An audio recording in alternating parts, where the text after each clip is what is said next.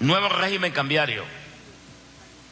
Tenemos un nuevo régimen cambiario en desarrollo que tiene un dólar protegido y tiene un dólar flotante.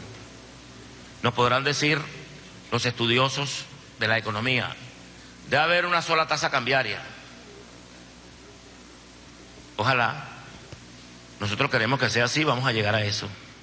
Pero ahorita tenemos que tener un dólar para la comida y tenemos que tener un dólar para los medicamentos. ¿Sí o no? Para nosotros es prioritario. Y hasta que no superemos esto, nosotros lo vamos a llevar. Y vamos a tener el dólar flotante, que es el dólar que está ahí compitiendo con el dólar especulativo. Que va a flotar, va a subir, sí, vamos a ver hasta dónde llega.